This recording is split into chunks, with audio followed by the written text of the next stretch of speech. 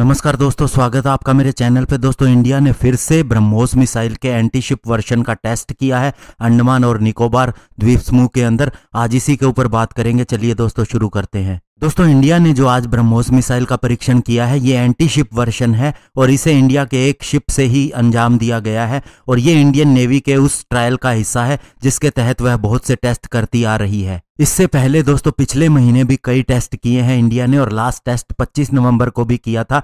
ये Indian air force ने किया था अपने सुखोई 30 एम फाइटर जेट से। इस मिसाइल की स्पीड 2.8 मैक है और ये साउंड की स्पीड से तीन गुना ज़्यादा है। दोस्तों, इस मिसाइल को शुरू तो इंडिया और रशिया ने मिलकर किया था और अभी भी मिलकर ही बना रहे हैं, लेकिन इंडिया इसके ऊपर स्पेशली ध्यान दे रहा है, इसके इंडिजिनाइजेशन के ऊपर। और इसके अलावा दोस्तों, इसके अंदर बहुत सा इंडिया स्पेसिफिक चीज़ें हो रही हैं। स्पेशली दोस्तों, इसका वर्टिकली लॉन्च किया जाना, जिसके तहत दोस्तों, पहाड़ के पीछे भी अगर दुश्मन छिपा हो तो ये मिसाइल नब्बे डिग्री के एंगल पे सीधा नीचे जाके अटैक करती है। ये भी इंडिया ने ही किया था। और अभी दोस्तों इसके टेस्ट इसलिए भी किए जा रहे हैं क्योंकि चाइना के साथ में तनाव चल रहा है तो ऐसे में दोस्तों इसकी मारक क्षमता को बार बार टेस्ट किया जा रहा है और इस मिसाइल के ज़रिए आत्मनिर्भर भारत के अंदर एक बहुत बड़ी सफलता पाने की कोशिश की जा रही है। और दोस्तों आज जो टेस्ट किया गया, इसकी रेंज 400 किलोमीटर थी और इसे इंडियन नेवी के आईएनएस रणविजय वारशिप के ऊपर से अंजाम दिया गया। और ये दोस्तों एक राजपूत क्लास का डेस्ट्रॉयर शिप है। और इस टेस्ट के दौरान एक शिप को निशाना बनाया गया, जो कि दोस्तों मैक्सिमम रेंज के ऊपर था और उसे पिन पॉइंट एक्यूरेसी के साथ में